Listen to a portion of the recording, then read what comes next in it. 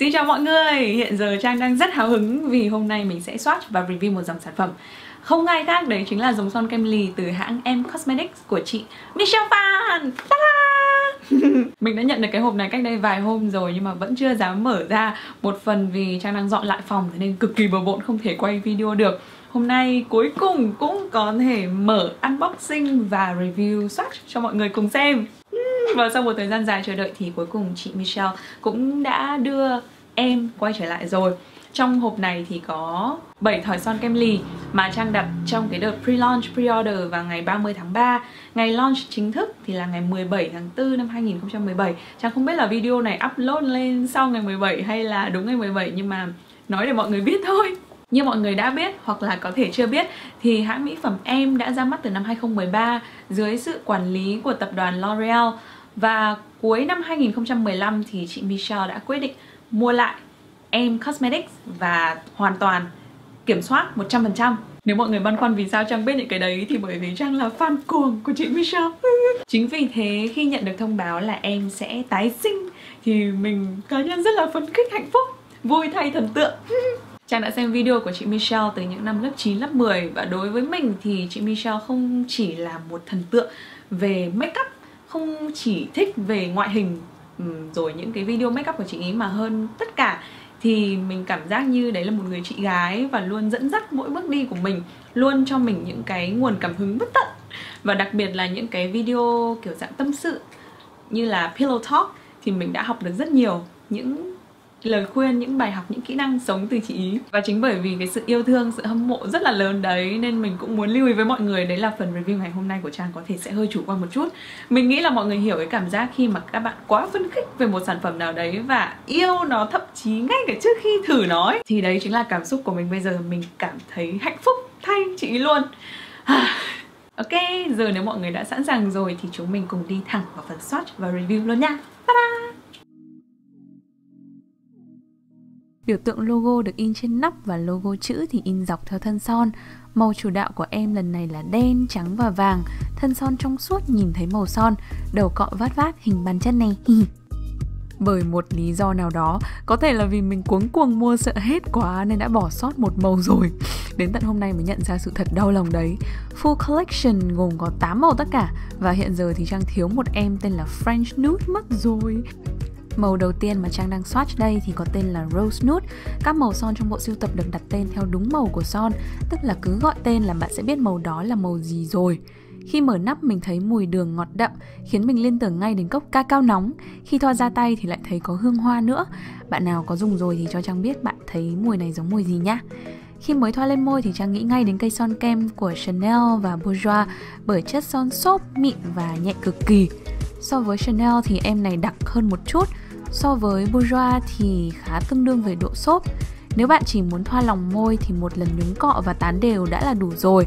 Để thoa cả môi thì Trang cần nhúng hai lần với ba màu đầu tiên Và ba lần với các màu còn lại. Vì son không khô lại hẳn nên mình không cần thao tác quá nhanh. Cứ viền cho tới khi nào nét thật là nét, ưng thật ưng thì thôi. Trước khi đặt mua bạn này, mình cũng đã nghe chị Michelle giới thiệu về sản phẩm và nhấn mạnh về tính chất nhẹ môi và quả thực là em ý rất rất nhẹ môi, không có cảm giác là đang thoa son nữa. Cũng chính vì son không khô lại hẳn nên không bám chặt vào môi đâu. Vẩy môi mình cũng không hiện lên rõ, ngược lại tạo hiệu ứng căng mọng hơn cho môi nữa. Chất son mịn hoàn toàn không bị bột, son không dính khi bạn bạn môi lại, sau nhiều giờ đồng hồ môi vẫn thấy mềm, rất thoải mái. Màu mà Trang thích nhất trong lần swatch này đấy là màu Faded Clementine mà mình đang swatch đây cùng với màu Violet Magenta. Faded Clementine này là sắc cam của quả quýt. Hmm, tông này Trang chưa có thỏi nào y hệt và cũng vì thấy chị Michelle dùng nhiều quá nên là cũng thích theo luôn. Một van girl cho hay. Tuy nhiên nếu bạn nào không make up thì Trang lại sợ tông này có thể làm ra hơi xỉn đi đấy.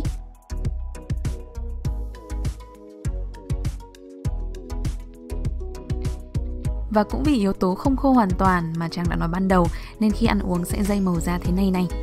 Vì bảng màu khá lạ mắt và theo phong cách trang điểm bên Mỹ nhiều hơn, nên để gợi ý tông màu dễ sử dụng hàng ngày cho các chị em ở Việt Nam thì Trang lại chỉ có thể đưa ra hai màu đấy là Crimson Red và Violet Magenta.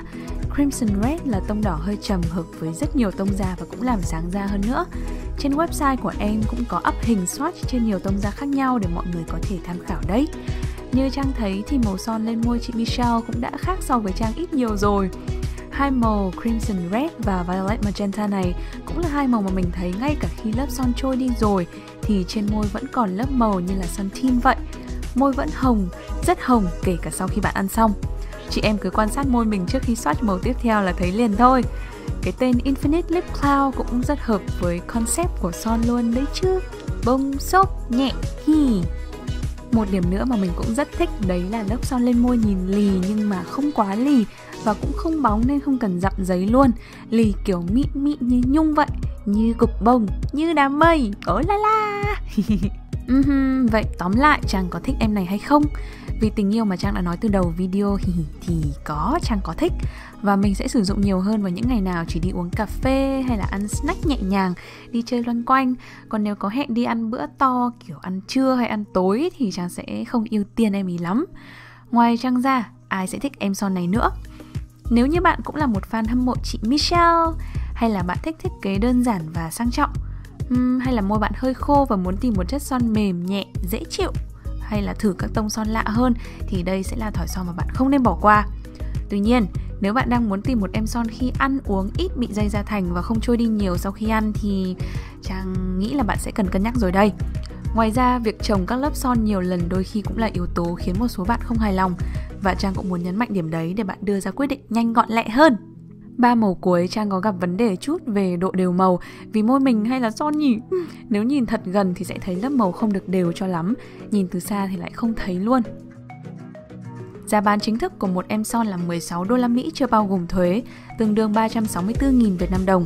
Các bạn ở Mỹ có thể mua dễ dàng tại website mcosmetics.com. Trang cũng sẽ để link ở dưới phần description nha. Tuy nhiên, vì hiện tại website của em chưa áp dụng ship quốc tế, nên nếu các chị em ở nhà muốn mua chắc là sẽ cần đặt qua các shop rồi. Các bạn ở các nước khác thì hãy cố gắng kiên nhẫn đợi chút.